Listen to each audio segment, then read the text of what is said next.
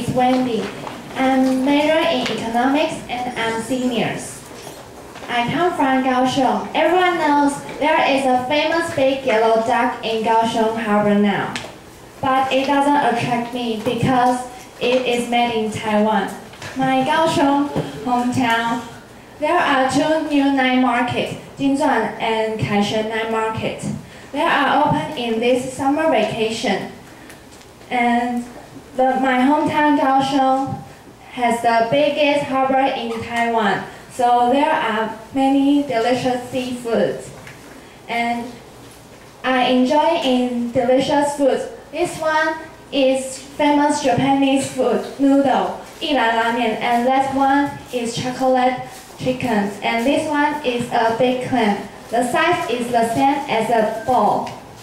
And after enjoying delicious food, I should do some sport to keep keep fit. I like to play badminton, basketball, and go hiking. I often go hiking with my parents in Shoushan.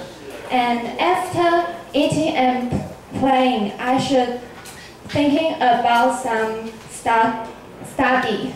So why I choose this class? Because I want to practice the English presentation skills and I want to practice doing the, some presentation in front of, of people and not be nervous. That's all. Thank you everyone for your listening.